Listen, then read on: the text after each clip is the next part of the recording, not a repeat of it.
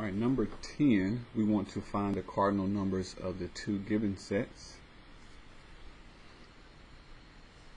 So we have A is the set 115, 116, 117, dot, dot, dot. I'm going to be lazy. And we stop at 171. Okay, so we need to figure out how many elements are in this set. So there is a little trick to counting these. I'm going to give you a small example. Let's say we deal with the numbers 1 through 10. 1, I'll list them all out.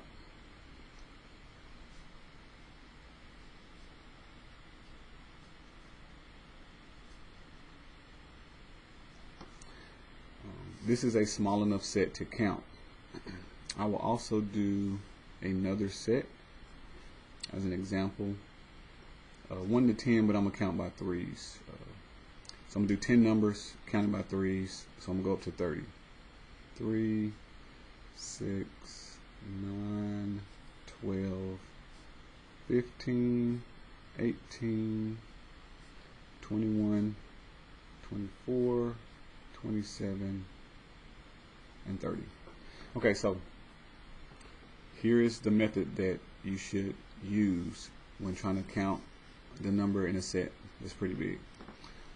Find the smallest number, first term, and the last number. We're going to find the range first. And then just add 1 to the range. So range is the largest number, 10 minus the smallest number, 1 gives us 9. Now we know because we've listed these, there are 10 numbers, you can see them. Uh, range just counts the distance between the first number and the last number. 1, 2, 3, 4, 5, 6, 7, 8, 9. It's 9 numbers between these two. So you have to add 1 to include the first number not being counted.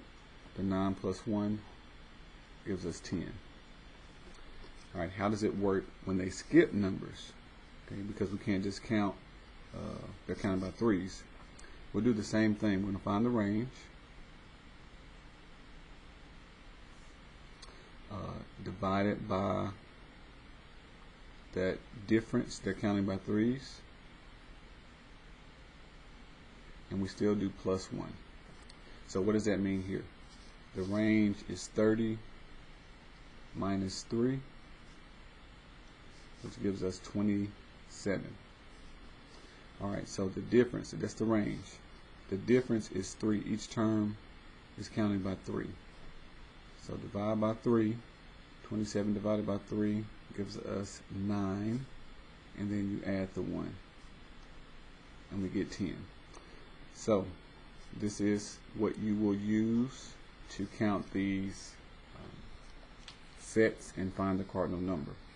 So I'm going to use the same thing. These are counting by ones, 15, 116, so on. So I'm going to do 171 minus 115. I'm running off the page. This uh, bar 1, 11. This will give me 6. 6 minus 1 is 5. And it's 0. So 56 is the range plus 1 gives me 57. So cardinal number of set A is 57.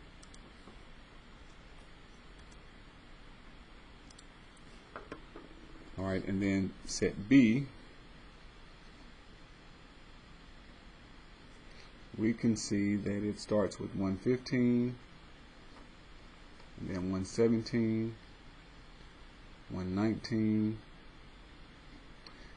so on all the way up to 315 so these numbers are counting by twos. So that's what my difference will be. It's counting by twos. So using my range first 315 minus 115 we get a difference of 200 so that's my range. These numbers were counting by 2 so I'm going to take this number divide by 2 and that gives me 100 and then don't forget to add your 1 uh, because that's just telling you how many numbers are between those not counting that first one So we get 101.